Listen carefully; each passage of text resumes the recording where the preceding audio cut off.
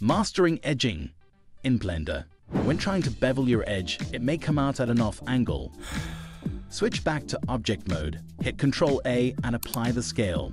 This resets the scale of the object transform so the bevel can be applied correctly. Enjoy.